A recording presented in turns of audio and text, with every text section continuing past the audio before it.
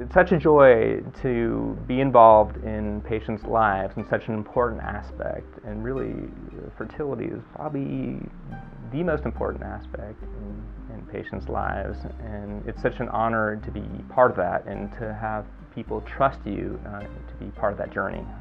The Reproductive Science Centers offers a variety of different treatment options, starting with a very, very simple approach, including just talking to patients and offering uh, advice or suggestions on how to optimize fertility. We can do a, a, little bit more involved treatment options, including intrauterine inseminations, for instance, with couples with unexplained infertility, or for any patients that require uh, donor sperm uh, to become pregnant. We offer even more involved treatment options, including uh, in vitro fertilization with or without uh, intracytoplasmic sperm injection, as well as doing pre-implantation genetic screening and diagnosis. It's always better to have multiple minds working on a problem together.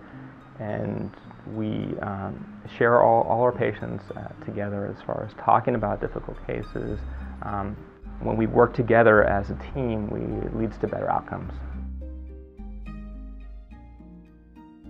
One is an area of research. Uh, specifically, I'm looking at non-invasive ways of detecting which embryos are going to implant. And the way of doing that, well, I detected or I found uh, certain molecules called microRNAs that are secreted into the media that the embryos are growing in correlate with their chromosomal makeup.